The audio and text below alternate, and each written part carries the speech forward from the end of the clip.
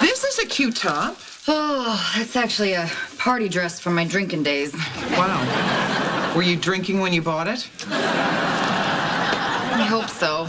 Anyway, it doesn't matter. I'm not that kind of girl anymore. Hello. What kind of girl were you when you wore this? Popular.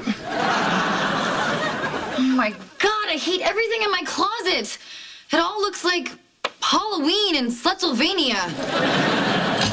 Down. We'll find something. Okay, so tell me about this guy tonight. I don't know. Cute, kind of boyish. Pretty normal, really.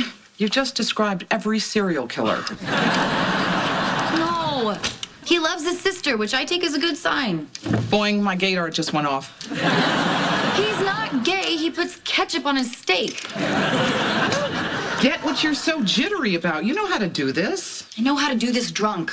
Come on, you've been dating your boss since you got sober. Oh, you can't call what we do dating. It's just sex in uncomfortable places. I hope you mean broom closets. Yes. Oh, Mom, God.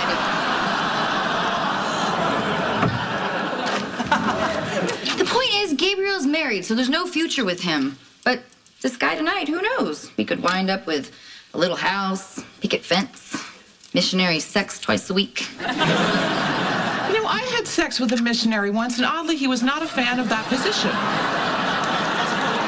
Thank you for that image.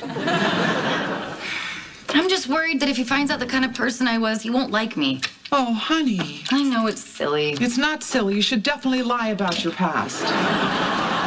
What? Yeah, sometimes I like to tell guys I'm Carol Ann Stevenson from Albuquerque, New Mexico. You're kidding. Nope. Carol's a school teacher like her mother and her Aunt Judy. She loves baking and gardening and volunteering down at the homeless shelter. now tell me about this. That's actually yours.